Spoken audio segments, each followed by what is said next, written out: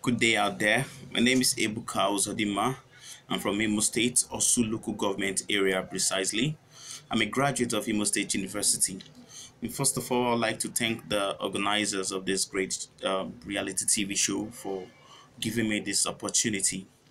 I think I have what it takes to be in that house because um, I'm super talented. I'm a singer, I'm a rapper, I'm a songwriter, and a producer as well. I've done series of songs and also I've produced lots of songs for some upcoming artists as well. And I believe this uh, reality TV show is a game changer. It's really a good uh, platform for me to be able to show the world and the viewers out there what I have in me. So I am so grateful for this opportunity and I hope and believe that if I am to be part of the inmates of this great reality TV show, I'm going to create a lot of impact in the house and also to the viewers out there. And secondly, the the theme of this um, season's uh, reality TV show, which happens to be the Game of Thrones, is is really a game changer.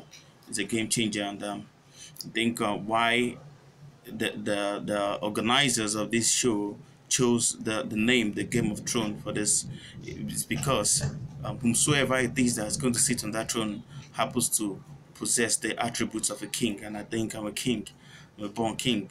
I, I know I have the attributes in me and I believe in myself. And I, I know if I'm being given this opportunity to be among the inmates of this great reality TV show, I'm really definitely going to do exploits.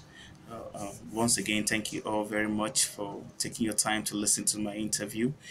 Uh, why I anticipate uh, a call or a message from you people. Thank you very much. Peace out.